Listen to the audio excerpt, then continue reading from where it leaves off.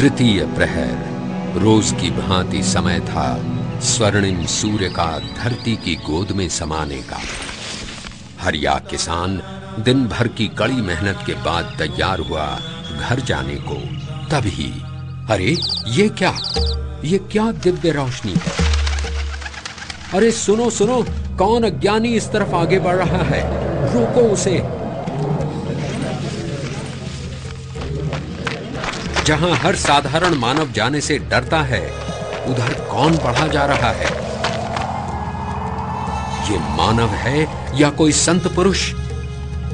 और शीघ्र गाँव वालों को दर्शन हुए एक शांत, तेजस्वी, दिव्य पुरुष के। वे थे अपनी कठिन साधना की महायात्रा पर निकले भगवान महावीर। हे आर्य पुरुष, आगे न जाएँ। देख रहे हैं इस जले हुए भयानक जंगल को। यहाँ एक मानव भक्षी विषैले भयानक सर्प का वास है, जो किसी भी प्राणी को जीवित आगे प्रस्थान करने नहीं देता। गाँव वालों की बात सुन अंतर्यामी भगवान महावीर मंद मुस्कुराए। मानो उन्हें आश्वासन दे रहे हो कि घबराओ मत। मुझे कुछ नहीं होगा। उधर निर्जन भयानक जंगल में, जहाँ सर्पों का राज था दृष्टि विष चंड कौशिक सर्प मानव गंध से उत्तेजित व क्रोधित हो उठता है। किस मूर्ख मानव की यह हिम्मत जो मेरे क्षेत्र में प्रवेश करे?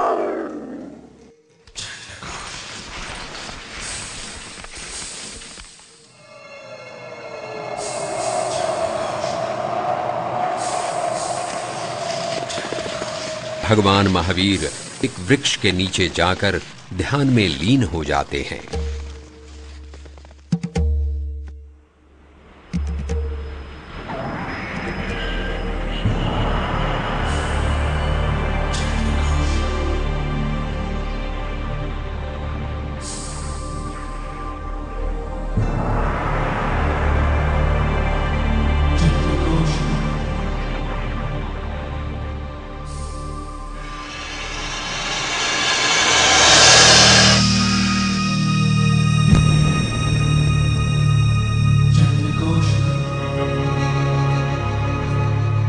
Tender caution,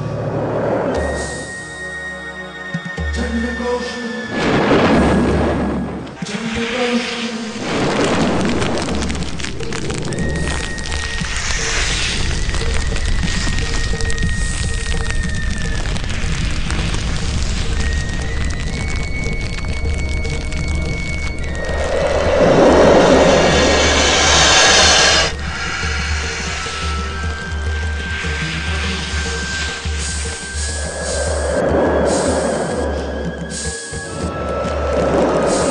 बार बार बार करने पर भी महापुरुष को अटल अविचलित देख सर भौचक्का रह जाता है।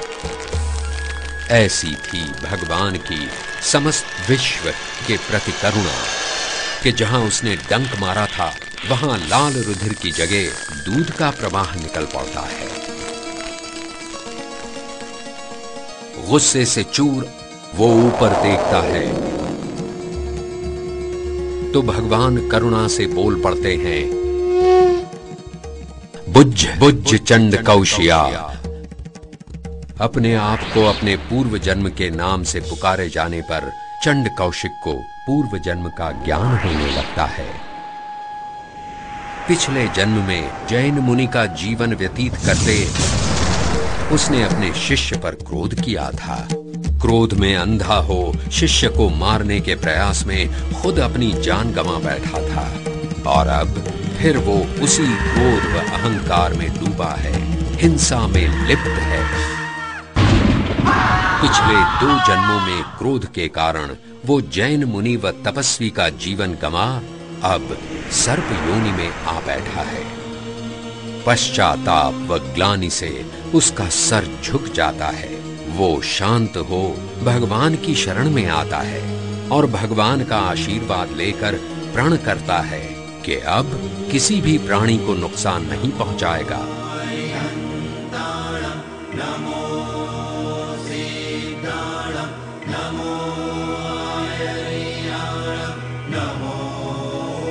वो रेंगते हुए अपने बिल के अंदर जाकर आत्मचिंतन में लीन हो जाता है। ऐसी थी भगवान महावीर की महिमा। क्रोध हिंसा में रथ दृष्टि विष चंड कौशिक सर्प को प्रतिबोध। मंगलम मंगलम